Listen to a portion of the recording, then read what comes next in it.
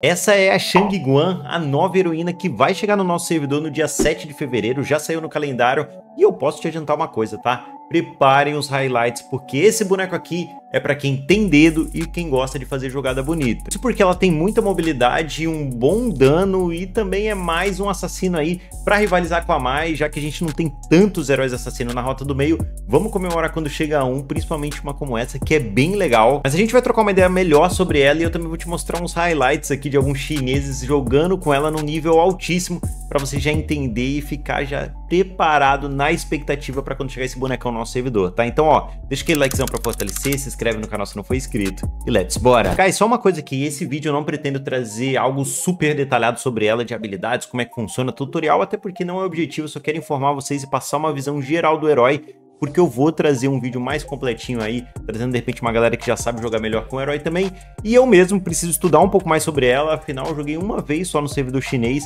vi alguns videozinhos, mas é claro que eu tenho que aprender mais também, então aqui eu vou dar uma geralzona nas habilidades, na passiva, só para você entender como funciona. Vamos começar pela passiva aqui, que talvez é um pouco mais complexo, mas de novo, só vou trazer o básico do básico aqui, ela é dividida em algumas partes, mas a cada três ataques básicos, ela ganha um aprimoramento que vai, vai causar dano mágico adicional, tá? Essa é uma das partes da passiva aí, só para você ficar ligado, mas ela também faz parte do combo, ela tem mais coisinhas aí para complementar, porque essa é uma heroína de muito combo, tá? De fato, você vai precisar de um dedinho a mais para jogar com ela. Já essa habilidade 1, ela vai jogar essa caneta aí, ó, que se vocês estão vendo, que explode na distância máxima e causa dano, tá? É basicamente isso, eu não vou entrar muito no detalhe, mas ela vai jogar essa caneta aqui, que também vai fazer parte do combo.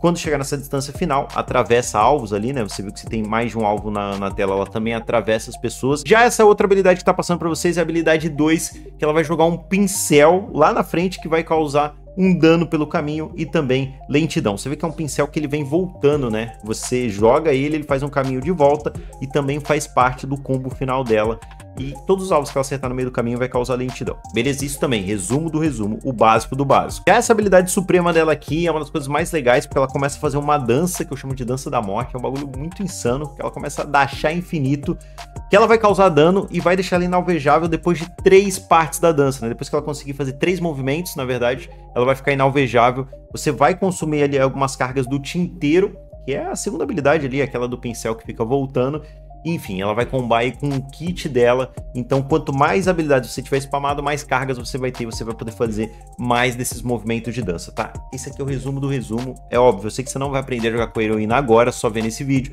Mas fica tranquilo que a gente vai trazer algo mais detalhado. Mas para você entender melhor aí como, como ela vai funcionar e principalmente o estrago que ela pode causar, eu trouxe esses vídeos aqui. Dois videozinhos curtos de highlights de chineses jogando. Só para você pegar uma visão legal Presta atenção nessa playzinha do Gamon aqui, ó. Ela tá quase morta e aí ela começa a consumir as cargas da Ultimate, dança pra cá, dança pra lá, fica inalvejável e ainda mata o Gaimô. Sim, família, esse é o bonecão que vai chegar no nosso servidor, tá?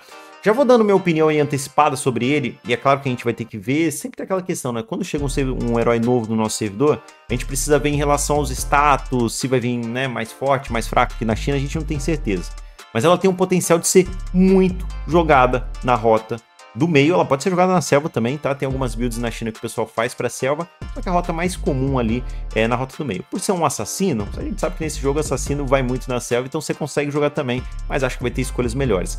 Cara, presta atenção nisso, velho. Olha o quanto que ela consegue, assim, se mover pelo mapa, sempre utilizando das habilidades, né? Você vê que às vezes ela deixa até estacado algumas, às vezes, a habilidade, para quando ela começar o combo, ela conseguir fazer toda essa dança e ir pra cima da galera. Ela jogou o pincel, foi pra frente, jogou a primeira, já tava com as stacks máximas e foi direto, né? Na boca dos caras. Pô, olha o que ela consegue fazer numa fight, guys. Ela tá lutando de frente aqui, ó, com a ult do Sumbin, com todo, todo mundo batendo nela e ela simplesmente sai viva. Mano, isso aqui é bonecão, tá? E é bonecão para quem gosta de jogar de assassino na rota do meio.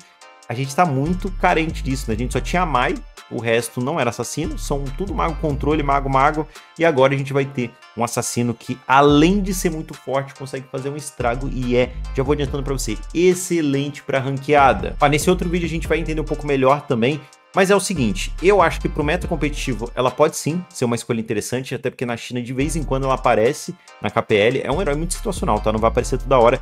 Teve uma participação dela no Mundial, pelo menos uma que eu lembro, que tinha um jogador que, que trouxe ela no, no, Mundial. Na KPL de vez em quando ela traz. No competitivo acho que ela também pode aparecer, mas na ranqueada ela vai ser muito boa, guys. Principalmente para você que quer masterizar um herói desse nível, tá precisando ali subir de elo e você fala, mano, não dá para confiar no meu time. Meu time é sempre batata. Eu entendo. Pega um herói como esse, tá jogando na rota do meio, masteriza um herói como esse aqui, família. Quando chegar no servidor, pega ele para jogar, porque aí você vai ter um nível muito mais alto e sim, você vai conseguir carregar umas partidas.